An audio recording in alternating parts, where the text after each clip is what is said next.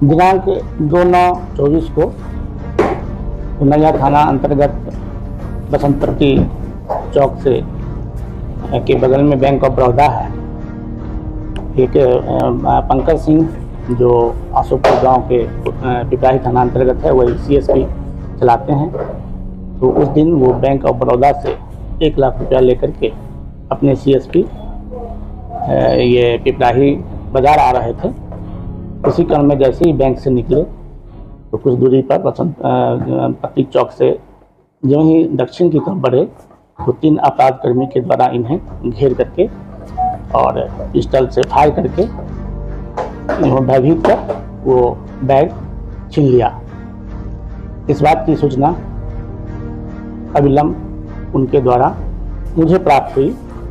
तो इस संबंध में तुरंत S D P O Shivhar के नेतृत्व में टीम गठित करके, सबको एक्टिवेट करके इसमें तुरंत अनुसंधान प्रारंभ किया गया। एस शिवहर के नेतृत्व में तकनीकी अनुसंधान करके, साथ ही सीसीटीवी फुटेज एवं आसूचना संकलन हुआ, जो पूरी घटनाक्रम के बारे में जानकारी प्राप्त हुई और पूरी टीम के द्वारा बहत्तर घंटे में सभी अपराध कर्मी को चिन्हित कर लिया गया। चिन्हित करने के उपरांत सब पर छापामारी एट ए टाइम टीम बना करके की गई और सभी पकड़े गए। घटनास्थल पर जो घटना में बाइक यूज़ किया गया था, नीले रंग का अपाची बाइक है, वो भी बरामद हुआ है। जो पिस्टल से फायर किया गया था पिस्टल और एक देसी कट्टा भी बरामद हुआ है। लूटी गई में से उन्नीस हज़ार एक सौ बीस रुपया भी बरामद हुआ है। उनका लैपटॉप भी बरामद हुआ है। और अपराध कर्मी से छः मोबाइल भी बरामद हुआ है और ये सभी अपराध कर्मी सीतामढ़ी के में शरण लेते हैं, वहीं पर उनका घर है और ये पंकज सिंह जो हैं, ये इनके घर के पड़ोसी ही, घर के पास के ही दो व्यक्ति, जो लाइनर और ये पूरे घटना को अंजाम देने का प्लान तैयार किए हैं, उनका वो पड़ोसी है। उन पड़ोसी का नाम है सोनू कुमार, उर्फ़ कुमार बिना सिंह ऐसा नागेश्वर सिंह, साकिन आशोपुर थाना पिपराही। और दूसरा है आदित्य कुमार, राजीव कुमार।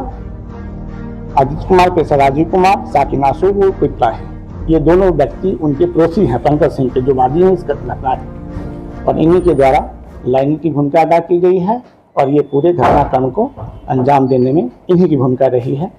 और इनके जो साथी हैं सीतामढ़ी के, वो तीन जो बाइक से आए थे, जो पैसा छीने हैं, इन्हीं का साथी सब था। और सबको हम लोगों ने छः को छः को गिरफ़्तार कर लिया है। और सभी का अपराध कर्म- क्या क्या कहाँ कहाँ घटना है उनका वो सभी का आपराधिक इतिहास कहा जा रहा है। कितने गोली चला गया एक फायर किया गया था और घटनास्थल से वो खोखा भी और बुलेट भी बरामद हुआ था।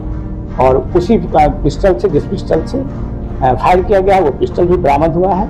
अभी इन लोगों के द्वारा स्वीकार किया गया है बट इसका हम प्लास्टिक जाँच अविलंब करवा रहे हैं। और इस कांड को एसपीडी चार्ज में डाल करके इन सबों को सजा दिलवाई जाएगी। अपराधियों का आपराधिक इतिहास क्या है अपराधियों का आपराधिक इतिहास अभी इन लोगों के द्वारा स्वीकार किया गया है बट वो हम जहाँ से उनका स्वीकृति बयान में आया है उसको हम वहाँ से पता कर रहे हैं।